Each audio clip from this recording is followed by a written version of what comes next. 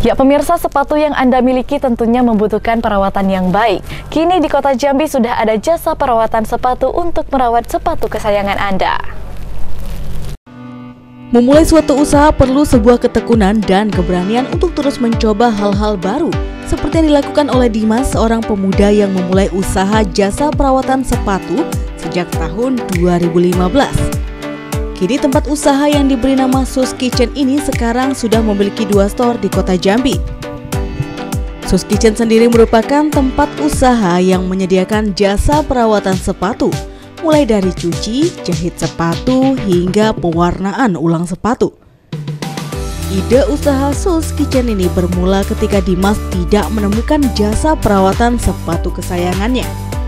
Beranjak dari hal tersebutlah, Dimas mulai mencoba untuk membuka tempat usaha yang menyediakan jasa perawatan sepatu.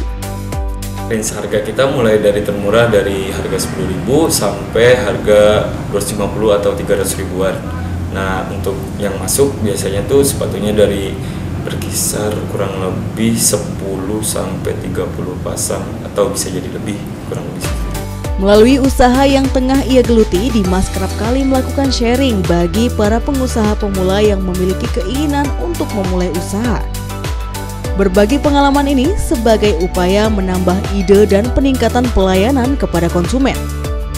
Kurang lebih dari yang cuci cepat, ada ada yang cuci menyeluruh. Itu kalau cuci cepat biasanya cuma cuci bagian luarnya aja. Kalau cuci yang menyeluruh itu biasanya untuk keseluruhan. Kalau untuk ada lagi yang namanya treatmentnya yang pewarnaan ulang kita juga ada ada perawatan khusus untuk kulit penjahitan pengeleman dan lain-lain sih untuk biaya jasa perawatan sepatu di Sus Kitchen berkisar dari 10.000 hingga 350.000 rupiah, tergantung kebutuhan konsumen.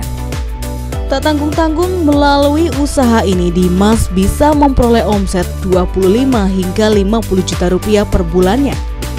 Nah, jika Anda tertarik, Anda bisa datang ke Sus Kitchen yang beralamat di Nusa Indah Sipin, Kota Jambi dan yang berlokasi di Tehok, Kecamatan Jambi Selatan, Kota Jambi. Ria Agustin, Jack TV melaporkan.